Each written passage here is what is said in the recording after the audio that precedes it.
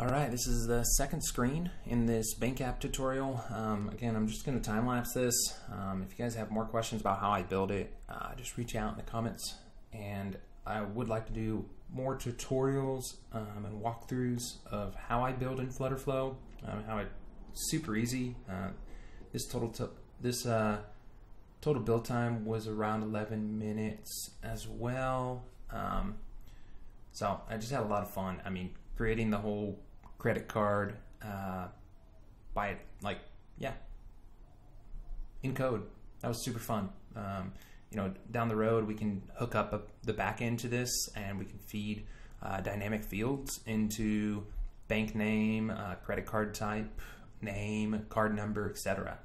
Uh, so that's that's all possible in Flutterflow. Um, it's a little more dev oriented, but right now I'm just doing some design tutorials. Uh, this has been a lot of fun. So again, you can skip ahead to about one minute uh, to get over my monologue. Thanks again.